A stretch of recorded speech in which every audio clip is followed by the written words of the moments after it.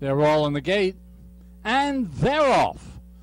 On the far outside, that's Classic Moon that breaks sharply and moves for the lead. Moving up now from between horses, it's Rusty Charlie. It's a length and a half back to the rail. That's BL's a runner. Then there's a break of four lanes to the inside. It's Fortunate Buy with James Wilfred. They move up the backstretch to the half mile pole. It's Rusty Charlie that leads by a length on the outside in second position, Classic Moon. Then it's two lengths back to the inside. That's BL's a runner third. There's a break of four lengths. It's James Wilfred moving up, and then three more lengths. The trailer is Fortunate Buy. They went the first quarter in 22 and 1.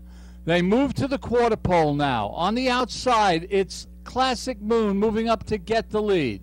At the top of the stretch, Classic Moon leads by a length and a half. At the rail, that's Rusty Charlie back to second. Then down the middle of the track, it's BL's a runner. And on the far outside, James Wilfred comes on. They come to the 16th pole. Classic Moon, James Wilfred on the outside. At the rail, it's Rusty Charlie. They come to deep stretch. Rusty Charlie's coming back, and Rusty Charlie comes from nowhere to win it.